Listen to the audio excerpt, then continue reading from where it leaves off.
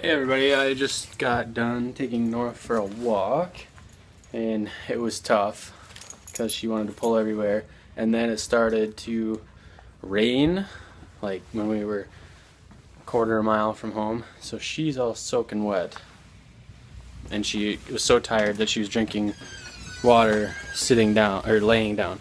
Now Amanda and I are going on date night. We're going to get some Mexican food and there she is. We'll be back. So we're at date night. We got queso blanco, which is my fave. You love it too. It's like spicy, but it's not spicy for me. Yeah, You'd want it spicier though, wouldn't you? No, it's fine. So good. No margaritas. Tenor Marks. Classic. So we got fajitas and margaritas.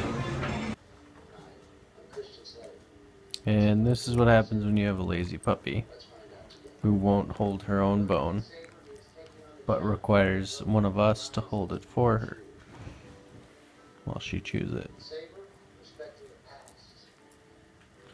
Nora, are you spoiled?